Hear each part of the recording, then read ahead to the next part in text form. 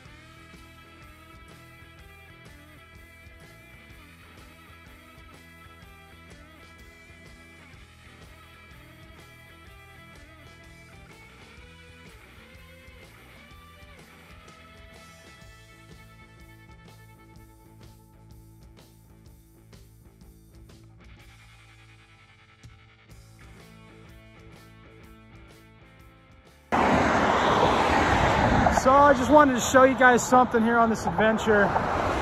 Um, it's pretty cool.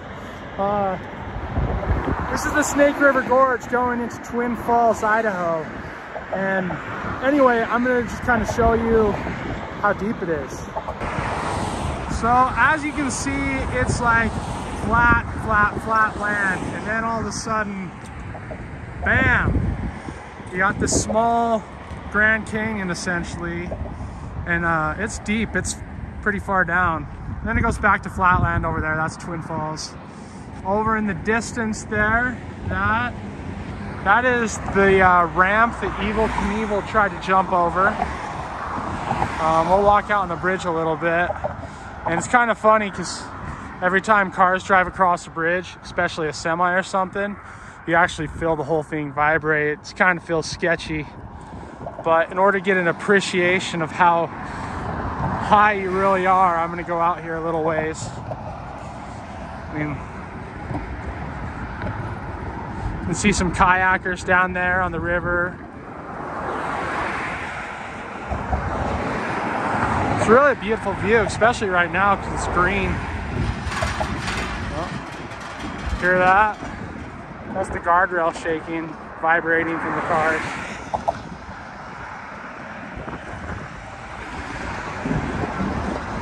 Starting to get pretty sketch. Look down there. Woo. See the shadow?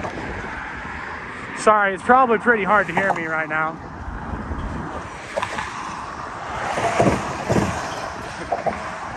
It is pretty sketch, honestly, when the semis drive over. You're pretty high up here.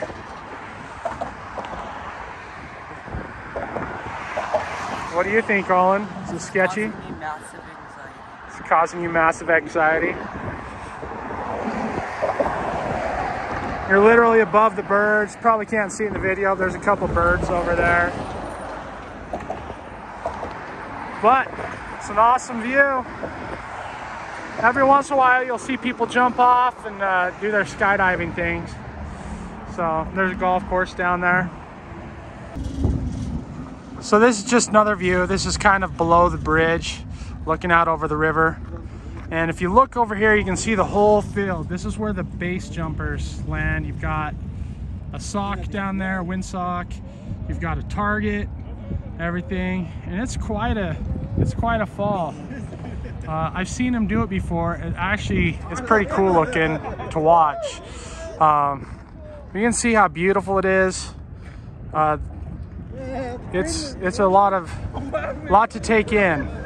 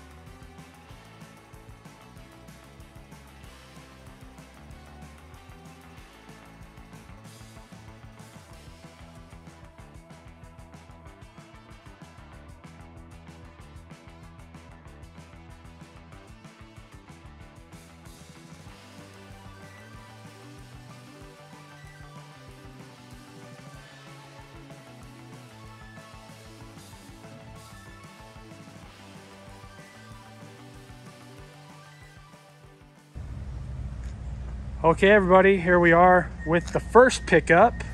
This is a 1974 Dodge Dart Sport. And something's really cool about it, which makes it unique, is it is the Hang 10. And you can kind of see it still here on the sticker. Um, the Hang 10s were really interesting because they had this uh, interior that red shag carpet and these crazy stripes, had a fold down rear seat, you could open the trunk. It was meant to put your surfboard in. Uh, this car also was optioned with the Tuff wheel um, and air conditioning. It's a pretty cool project. You can see there's not a lot of rust. It's got a California blue plate. This one is a 318 car. As you can see, it's pretty much complete car. Not exactly sure what we're gonna do with this one yet, but if I have my way, it's gonna stay looking the same and be built into an autocross car. How cool will that be? Anyway, we'll go over more information after we get it home. Uh, right now, I'm gonna hurry and get it loaded up.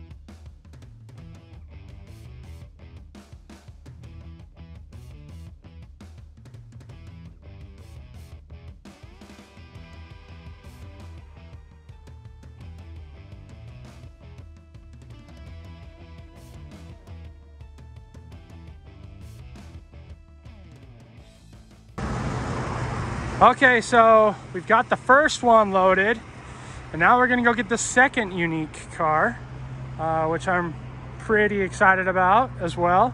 Uh, we're only a couple miles from it. Luckily, both of these cars were only 20 miles from each other, and uh, which is kind of unique.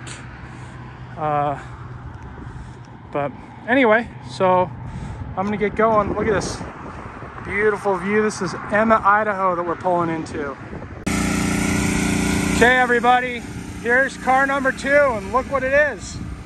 It's a second Hang 10 Dodge Dart Sport. This one's a 75, so I've got both years.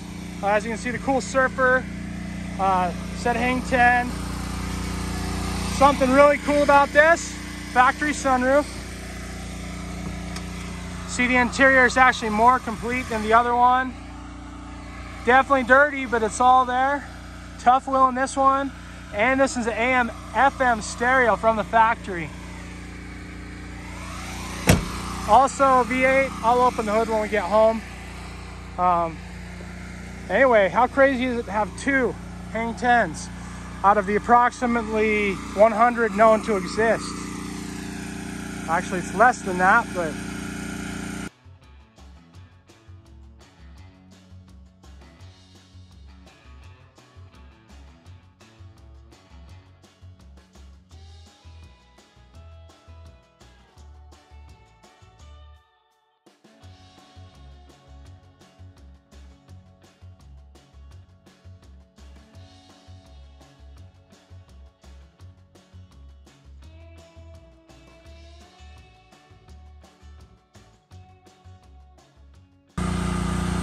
this is a 71 Demon. Uh, we may worked a deal on this, so this may be coming home with me at another point. Has the wrong front, front clip, but looks relatively solid.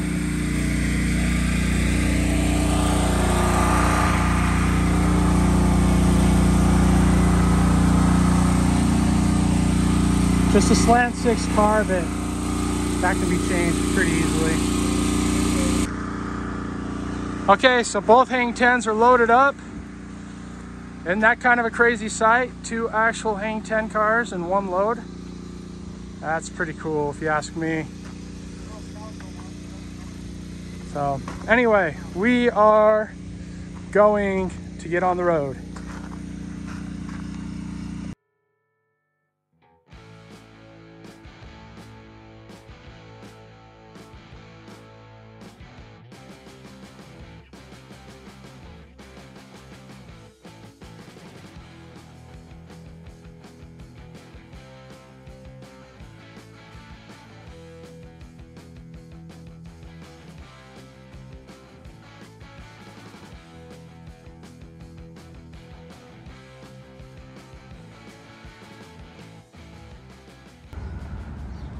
Well, it's Friday morning and we're just leaving the hotel and heading home.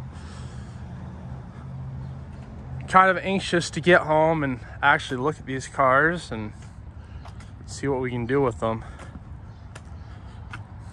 It's gonna be fun. Two hang tens.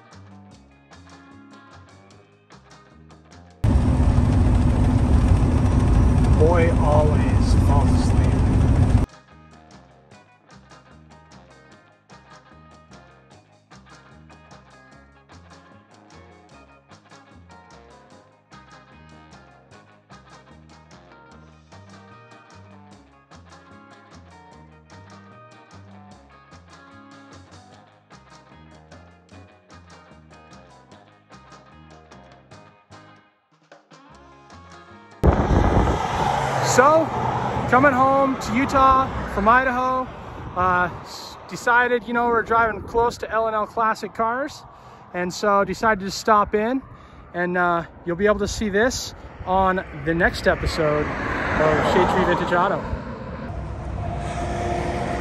Well, we stopped yet again for fuel.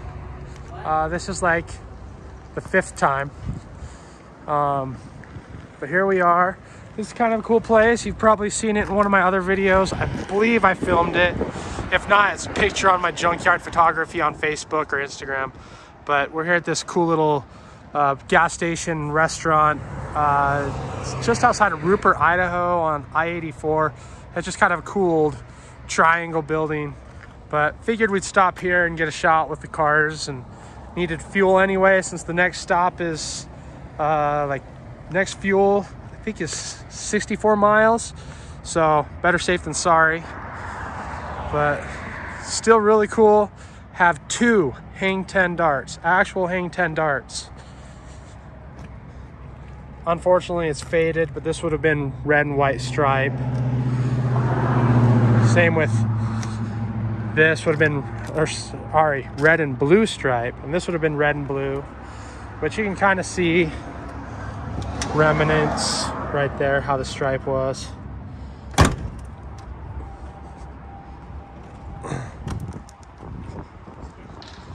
So, supposedly less than 100 of these known to exist. So there's 2% of the existing hang 10 darts right here.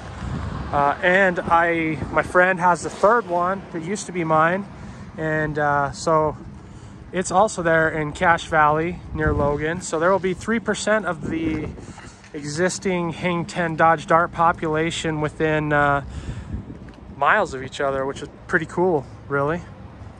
So you see Allen doing his job. He's got to got to pay his keep by pumping the fuel. So. sticker. Show the audience this sticker. Oh, there you go. I can I know some of you guys won't agree, but look at that. Jeez, hurts the pocketbook. People that think going and getting these cars is cheap and easy, you got another thing coming to you. So, When should I stop? factory sunroof. Stop when it's full.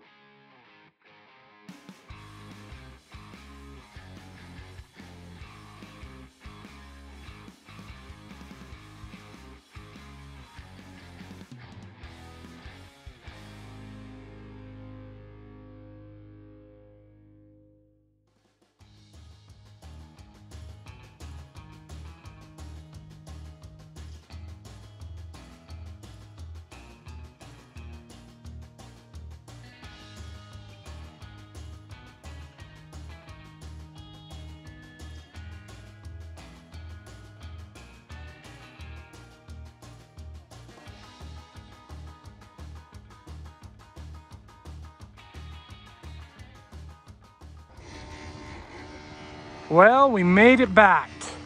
Um, so now I'm gonna unhook the trailer and then unload this car. And that's probably about where I will end it for today. Um, but I'm gonna do some more video of these tomorrow when I come in. And uh, then I'll finish up this episode uh, after we kind of go over these cars and discuss what I want. I really, really, really want to make this into an autocross car. Leave it basically looking how it is and uh, just redo all the suspension and drivetrain and everything. So hey, if anybody wants to sponsor me, you know, uh, we got this project. Uh, anyway, we'll uh, talk again tomorrow. Saturday now, and uh, we're gonna play with the two hang tens a little bit. May see if we can get them running. I've got Cameron here helping, and uh, gonna see if we can get this one to start up. However, there's definitely an issue with it. There's a bunch of gasoline in the oil. So I don't know if it's a bad engine. I don't know if it's just a bad fuel pump or if somebody is just, you know, hasn't checked the carburetor and it's just dumping fuel. So we're gonna see if it will fire up at all. And then this one, we're gonna unload it and see if we can get it to fire up. This one's been sitting for a long time. It did actually come from Wildcat Mopars in Sandy, Oregon, um, like a year ago. And uh, they had it fired up just by pouring fuel down the carburetor. So we're gonna see if we can get it running. And uh, if everything goes well, it might be fun just to kind of take it for a spin around the yard, but we'll see how far we get today. Uh, either way, it's gonna be fun. It's not a very, uh, not very often that you get to work on two hang 10 darts. So kind of exciting. Okay, so this is the 75, and this is uh, the engine that's in it, obviously. It's uh, 318, or it's supposed to be. Uh, like I said, there's a bunch of fuel in the oil. And in fact, when we loaded it onto the wrecker, uh, at that angle that it was on, it just started dumping out the back of the engine. So I'm not sure if there's a bad seal or what the deal is. I just want to see it'll fire up, see how it sounds at all. Um, if it's junk, I have another 318 that we will throw in it at another date, make this car run and drive. This car is for sure going to be sold. So if anybody's interested in it, let me know. Uh, but I want to get it running, driving, and then, uh, you know, go from there. So really quick, I'm going to go over the interior again of these Hang 10s um, a little bit more thoroughly. This one is optioned with the Tuff wheel, as is the other one, which is kind of cool because most of them didn't have the Tuff wheel. So that was a sort of expensive option. Uh, the red shag carpet, you can see is still complete in this one. And look at the cool stripes. When this interior is fresh, it looks so awesome you wouldn't think it, but it's just neat and very, very unique.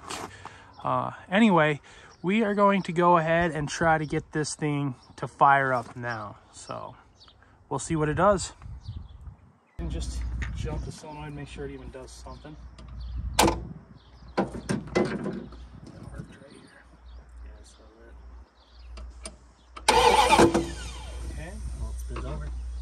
So let me turn the key on. I'm gonna put my foot on the brake.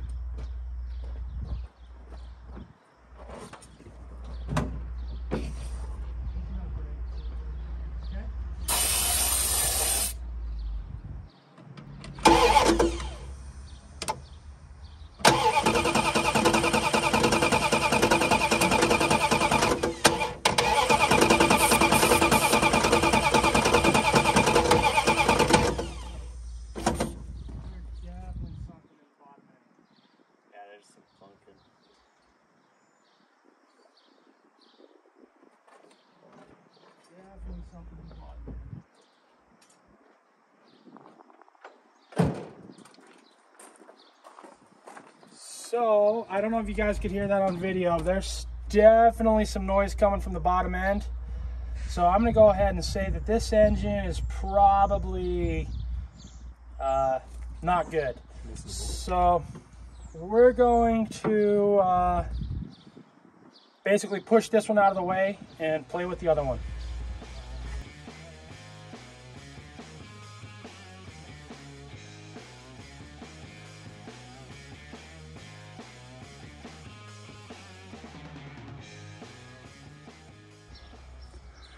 So this is the 74. And honestly, I personally am way more excited about this one than the 75, even though the 75 has the factory sunroof, AM, FM stereo. Uh, it's got the larger rear end, which is an eight and a quarter. This one has a seven and a quarter. Um, I don't know why I like the 74 more other than my red Dodge truck, red that you guys have seen. And it's over there in the background. You can sort of see it. It's also a 74 and be kind of cool to have them both as autocross vehicles or something. Uh, but this one, the interior is not near as nice as the 75. Uh, you know, it's missing the carpet. Seats are pretty baked. I mean, it's pretty rough. But I think that's one reason I think it'll be fun to do as autocross cars because it's kind of ugly. Uh, the other problem with this car is it stinks inside. I mean, it's bad. Uh, but that all will change in time. Uh, this one has the 318. It is a factory AC vehicle or car. I will probably, if I keep it and we do what I would like to do, the AC will be removed and we'll get a 360 Magnum and some other stuff. But just not sure if we're going to go that route yet or not. Uh, we're to see if we can get it started. Maybe maybe do a really sketchy drive around the yard. There are absolutely no brakes as i found out as we rolled it off the trailer. Uh, luckily the handbrake sort of worked. It was kind of deja vu of the uh, 69 340 swinger the other day. Um, but anyway so we're gonna just try to get it fired up get it running see how it sounds. But like i said this car i'm way more excited personally about this car it's ugly but cool. And then something kind of awesome is there's there is some rust in it, but look at this trunk floor. That thing is so clean and nice. And then uh, see if I can do this one-handed. One of the cool things about the Hang 10s and a lot of other darts and dusters. So this would fold down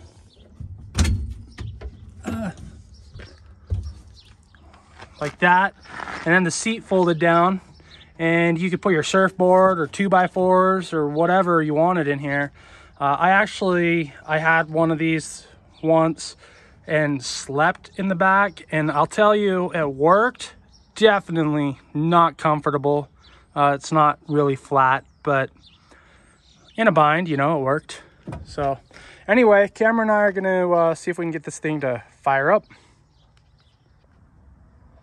So we are working on getting this running. And like I've mentioned before, 90% of the time you're going to lose the fuel pump.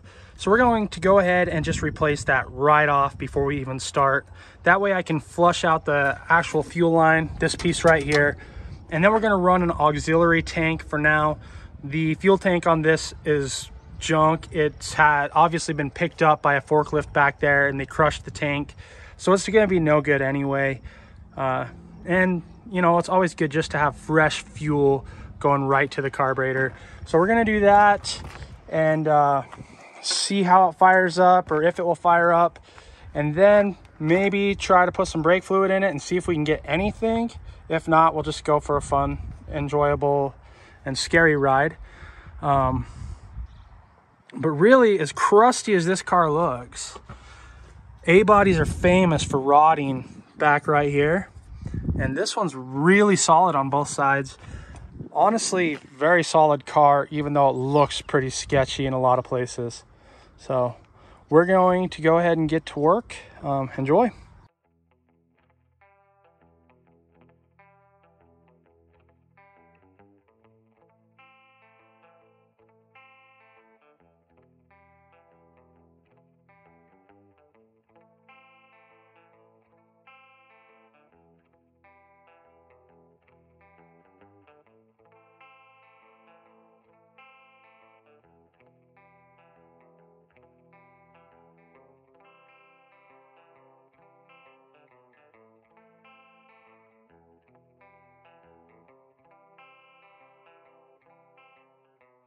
One thing I always do is uh, when I have the fuel line off like this, especially on something that's been sitting for a really long time, is I'm going to just spray carb cleaner through the line and uh, try to blow out all of the old fuel and other crap that's in there. So really simple. Just be sure to aim it away from you so you don't get yourself in the face. And that part's probably good enough. And we're going to pull this filter off on this one. And I always use brand new hose clamps as well. Um, these old ones, sometimes they'll work just fine, but I find that they kind of strip a lot easier than just getting new ones.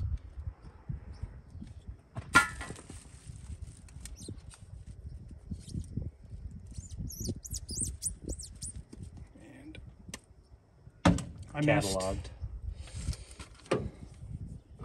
And same thing, just make sure that it's aimed away from you or anything you care about.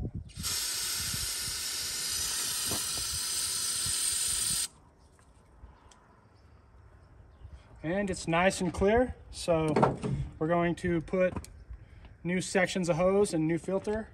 And then uh, once we put the new fuel pump on, we can hook this all up and uh, looks pretty good. We're getting closer to firing it up. Got the fuel pump on, the lines cleaned out and reinstalled. Now we're just putting the alternator bracket back together. I'm gonna go see if I can find a clip for the uh, throttle cable and a couple other things. And I mean, it's not like I have a shortage of parts. I just have to find it, uh, which that's one of the cool things about having my own salvage yard. So I can do that. Uh, anyway, so uh, yeah, I'm gonna get to uh, get to work. So we have the fuel pump in, the alternator's back in, belts are really loose, but hey, we're uh, not gonna go very far with this, if at all. Um, anyway, we have not even tried to crank it over to even see if it cranks yet. Uh, I had comments on my 340 car that you guys wanted to see initial startup and everything. So we literally have not done anything yet.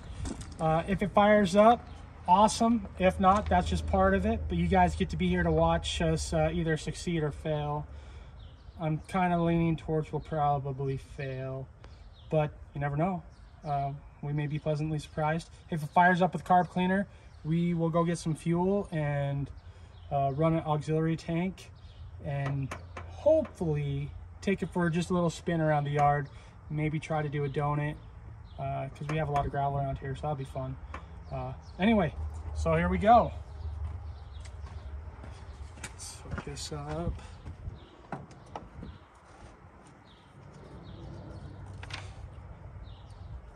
Okay.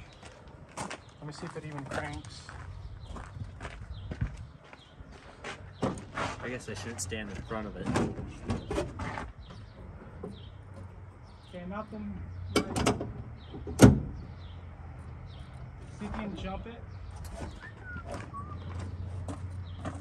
The alternator gauge is working, so or is moving, so there's juice.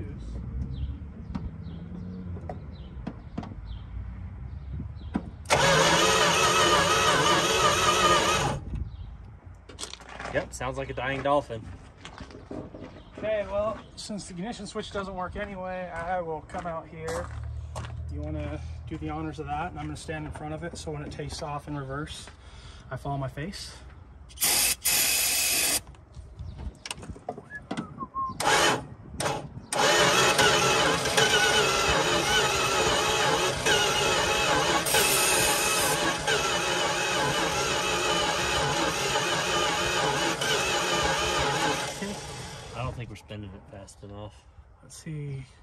See if we're even getting a spark, but I agree, it's not spinning very fast.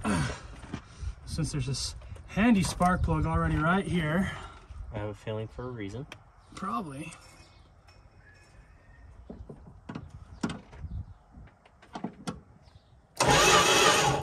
Uh, right at the end, there was a faint. Oh, we're trying though. It's trying to kick over. Well, let's. It's kind of faint, but it's there, ish. Now if I can get that back on. Good enough. Those eight mil? Sure look like it. Looked like Excel 8 millimeter. Yeah.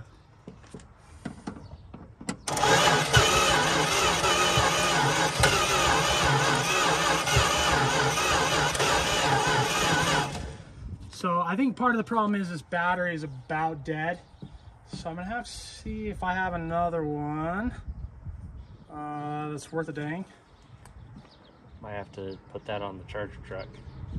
Charger truck's about out of gas, but we That's could. Um, here at the scrapyard, we have what we call charger trucks um, or yard trucks, and when they run out of gas, they get crushed because we get so many. And uh, I actually put gas in this one before, so maybe we'll hurry and try to put it on the uh, battery charger and see what happens. So give us a minute. Okay, take two. We've got the battery in. Uh, another battery. So let's go ahead and see what it does now.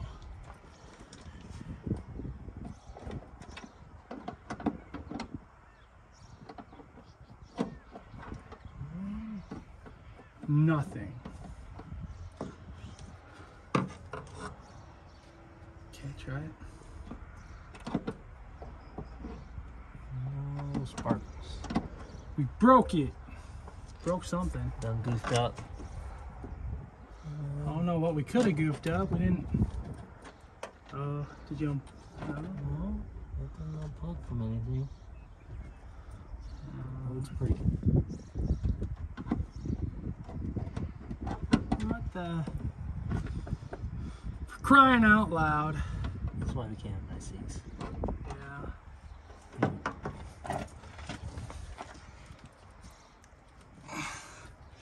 Working on old cars is so much fun. Stress relief. Here, try that. I mean, I don't know how we would run that battery dead. We just barely started the truck up.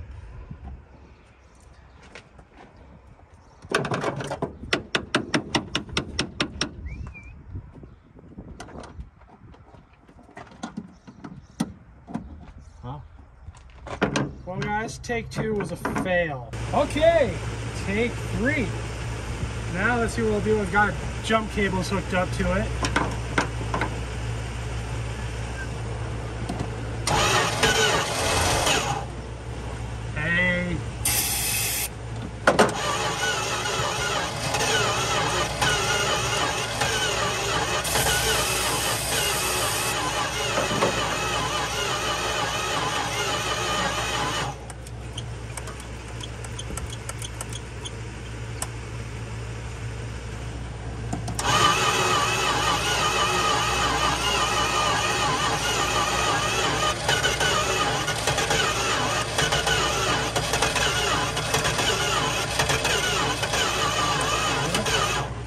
It did fire up, so I'm wondering if we just go get gas.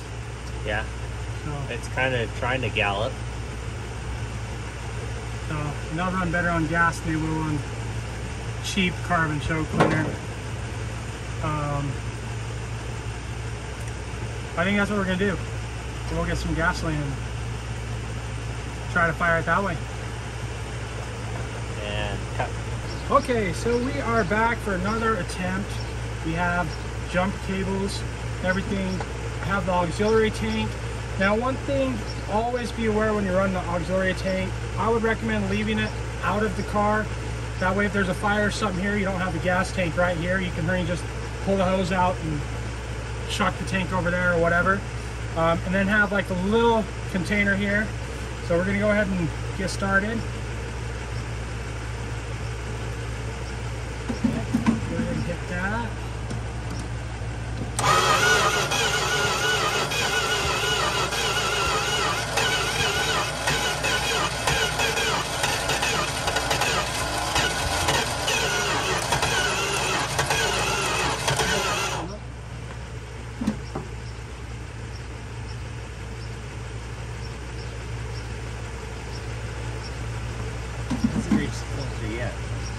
So I do see one problem where we're not going to drive the car, but we'll go ahead and fire it up. this carburetor's junk. It is actually leaking fuel right outside of the carburetor.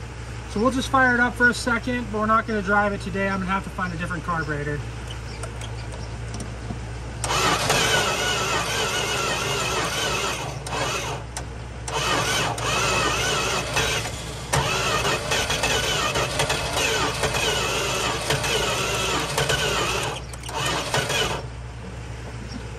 shows we're getting fuel in the fuel filter now, so that part's working.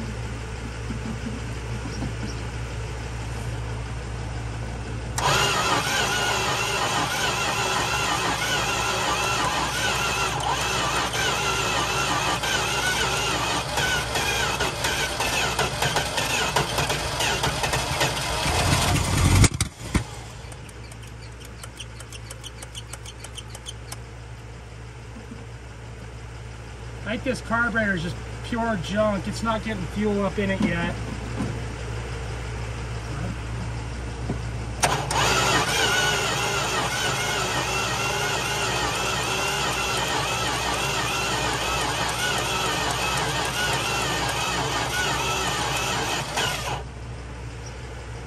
Yeah, I think this carb's just pure junk.